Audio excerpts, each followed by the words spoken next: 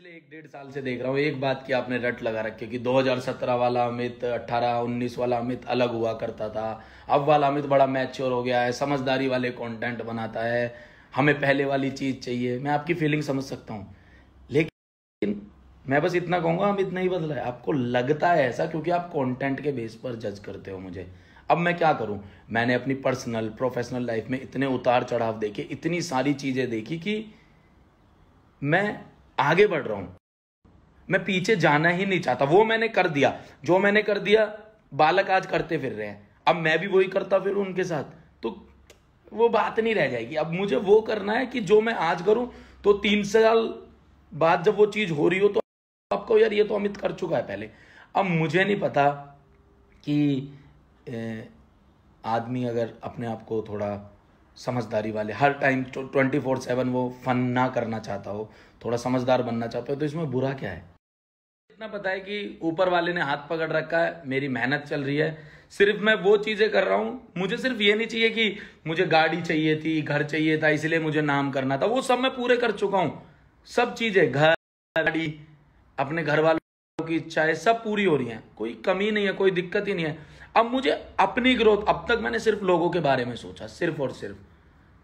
सफ़र में जितने लोग मेरे साथ रहे, जितने लोग मुझसे अलग रहे, मैं सबकी कदर करता हूँ, मेरे मन में कुछ नहीं है। कभी कुछ भी मेरे खिलाफ बोला जाए, कुछ भी बोला जाए, मैं कभी कुछ बोलता ही नहीं। मैं इंटरनेट पर कितनी चीज़ें देखता हूँ, मैं बोलता ही नहीं। मैं, कोई नहीं यार, काम से जवाब देंगे, ये सब चीज़ें चलती रहेंगी। और जो इंटरनेट पे बोलते हैं, मैं कहता हूँ, भाई आमने सामने बैठ जाओ, देख लेंगे कौन कितना है।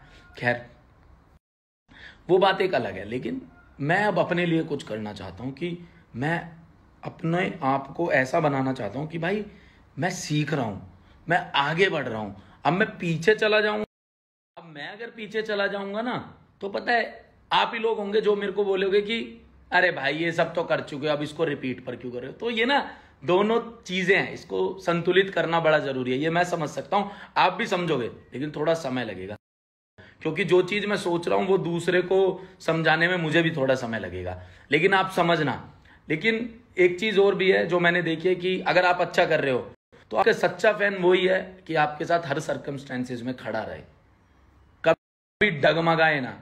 चाहे आप ऊपर जा रहे हैं, चाहे आप नीचे जा रहे हैं, कभी डगमगाए ना। वो हर कदम आपके साथ खड़ा है। जो पल पल बदल जाए, पलटी मार दे, वो फ़ैन नहीं होते।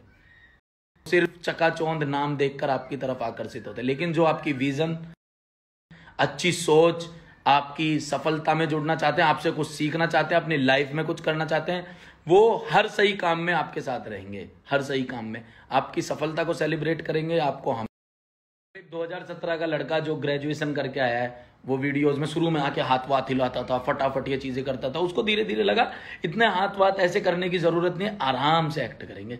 जो एक वीडियो में फुल राइमिंग के अलावा बात नहीं करता था, उसको लगा, इतनी राइमिंग करने की ज़रूरत नहीं, अमित, आराम आराम से। जो सिर्फ़ व्हाट्सएप पर लिखता था, उसको लगा, यार व्हाट्सएप पर नहीं प्रॉपर तरीके से लिखेंगे, एक कहानी बनाएँगे। है ना? जिस, मुझे लगा कि तू पैसे कमा रहा है, तू चीज़ें कमा रहा है, तेरे को अपने अंडर में लोग रख के ऐसा काम करना होगा कि तुझे अब रोज़गार भी देने होंगे। तुझे एक बड़ी टीम बनानी होगी कि तू लोगों को अब रोज़गार भी दे। अगर तू कमा रहा है, तू सारा अपने पास नहीं रखेगा, तू बांटेगा। तू बांटेगा तो तू आगे बढ़ेगा, क्योंकि मुझे कहीं जोड़कर नहीं रखना, मुझे अपने ज़रिए लोगों को रोज़गार देना है। अपने ज़रिए लोगों को सफल बनाना है, अपने ज़रिए लोगों को कामयाब करना है।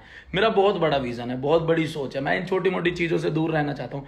बस आप सब जब ये बातें करते हो तो मेरा दिल दुखता है। मुझे लगता है, यार, ये क्यों कर रहे हैं ये सब?